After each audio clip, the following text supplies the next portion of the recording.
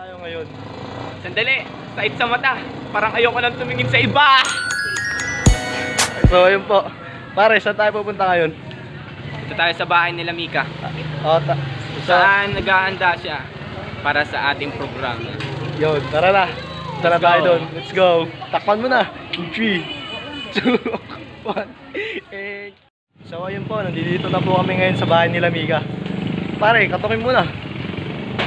Mika. Yan, Ano? nandiyan na po Andyan tayo na, ngayon. andyan na po pala yung mga kasama namin. Hoy! Say hi to the vlog. Nagla-vlog kami. Hi. Anong pangalan mo? Runik. Siya daw si Burnik. Kilala niya. Ito, anong pangalan mo? Bulol. Ito naman, ang may-ari ng bahay. Anak ni Mayor. Kulot. so, ayun po. Gagawa po kami ngayon ng mga videos para ipasa sa empowerment.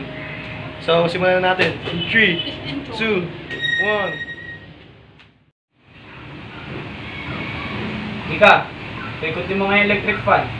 Ayoko. Alam ko kasi ang pakiramdam ng paikutin. Girl, my mood changed when you walked through the door. Before you came in.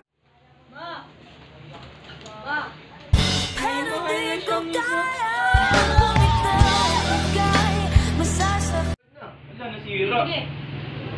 Kami, mid, mid. Pare, may pandikit pa kayo dyan. Ah, saglit lang. Patay tuloy. Pumao.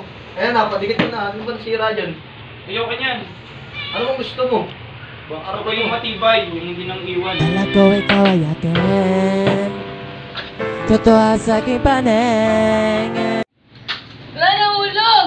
Nahulog ako sa'yo. Ako'y tinamaan, puso'y tinamaan. Hoy, Lord na. Wait lang, wait lang. Ay, sorry namatay. Ang bobo mo. Bobo ng anak mo. So, ayun po ano, nagbabalik na naman po kami at sana po nagustuhan niyo po yung mga kalokohan na ginawa namin ngayong araw. Please, Like, comment, Share. subscribe!